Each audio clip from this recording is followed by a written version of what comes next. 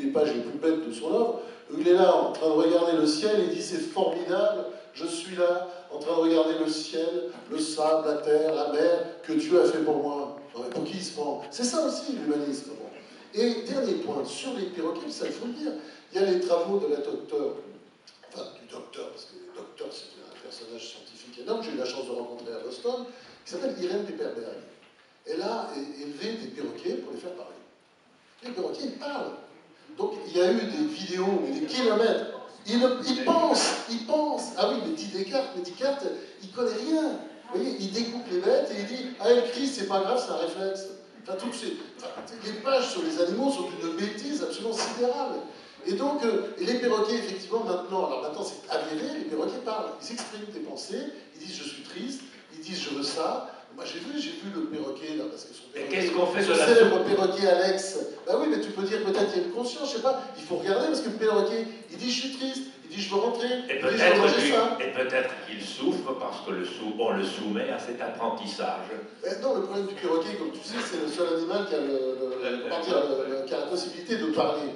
Les autres ne peuvent pas parler, c'est atroce, mais bon, c'est comme ça. Sur les temps, il y a aussi des, des personnages, c'est un métier, euh, qui parlent avec les animaux. Euh, je sais pas, avec les yeux, mains, enfin, ils leur transmettent des pensées. Et je pense que là, il y a quand même des choses euh, qui, ont tellement changé par rapport, disons, à notre perception du monde animal, quand on sait par exemple la souffrance euh, des poissons, la souffrance des thons, des sols, on ne savait pas tout ça. Et donc c'est en, train de changer tellement vite que je dirais l'humanisme, euh, il en prend un sacré goût. Je crois, je crois qu'Elisabeth de Fontenay veut, veut, veut, te répondre. Je suis absolument, évidemment, parce que je suis, euh, je suis pas folle, je suis tout à fait. Non, mais je, je suis. Je pense que l'homme est un animal, c'est la de l'évolution. Voilà, bien entendu. L'homme est, un, l'homme est un animal.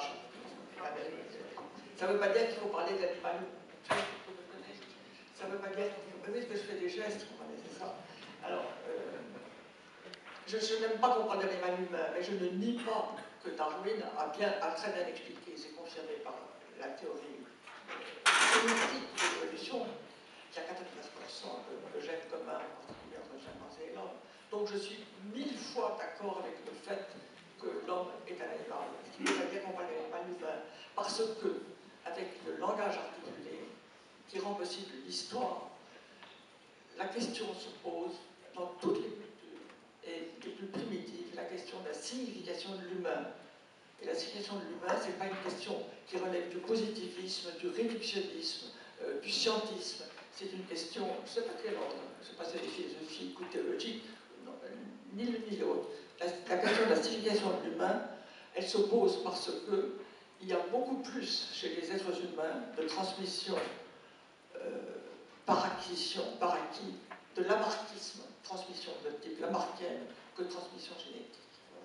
C'est pour ça que je crois qu'il y a non pas un propre de l'homme, j'ai tout fait pour détruire le propre de l'homme dans mon livre, mais une singularité humaine qui fait que l'animal humain, c'est un manque de, de respect. On n'a pas plus de respect et de considération pour les animaux quand on parle